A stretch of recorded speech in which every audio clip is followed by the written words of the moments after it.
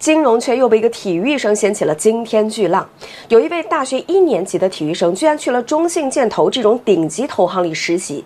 才大学一年级啊，还是体育生呢。本来呢，靠着背景深厚，你悄悄的镀个金也就算了吧。但是呢，这位同学却偏偏不走寻常路，非要拍短视频，还发出来炫耀。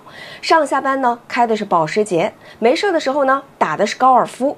更加要命的是，他居然还把公司的项目，包括客户信息以及监管的询证函，都放到视频里面公开出来了。据说这个事儿惹到公司高层震怒，中信建投也赶紧回应了，说情况属实，已经启动了问责。具体怎么回事呢？有一个注册账号叫乔楚的用户，在社交平台上发了一条视频，内容呢就是记录了自己在投行实习的一天，西装革履，百万豪车，到达实习单位中信建投证券之后，连工作中接触的项目。资料等等，这些非常敏感的信息都发出来了。不光如此，这个家伙自己也是 buff 叠满呐。上班时间居然穿个绿西装，在公司厕所里发自拍。有人根据相关的线索判断，这位同学很可能会是华中科技大学体育团队的王乔楚。此人在上个月还刚刚拿到了亚洲大学生武术锦标赛的男子传统拳术金牌和传统单器械男刀的银牌。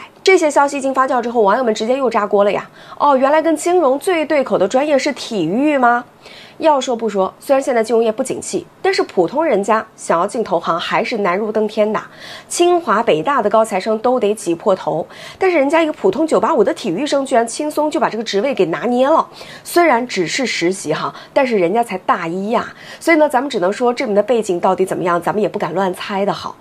金融业这几年其实一直都不怎么受待见。你看他们保荐的上市公司是一家一家的破发，除了大股东之外就没人能挣钱，基民股民通通亏成狗。但是从业人员自己却拿着高薪，还时不时爆出一些花边新闻，什么某某某炫富，什么谁谁谁又潜规则女下属之类的，搞到高层震怒，要求全行业降本增效。证监会主席吴清更是明确提出了要求，要净化八小时之外的生活圈和朋友圈。但是结果大家也。都看到了哈，连八小时之内的生活圈都没能净化。那这次最冤的，可能就是被泄露的那三个项目了：望源科技、海柔创新、国能信控。其中，望源科技和国能信控都是中信建投保荐的公司，现在都处在上市关键阶段。要知道，今年都已经过去大半年了，A 股 IPO 的数量才三十多家。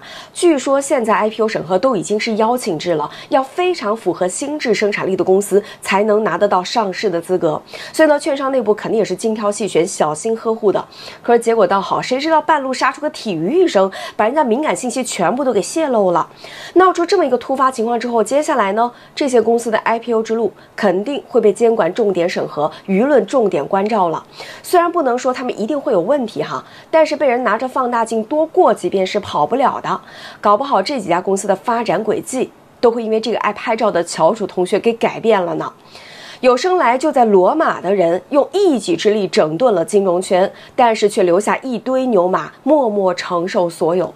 金融业还是长点心吧，不要把降本增效搞成了降本增效了。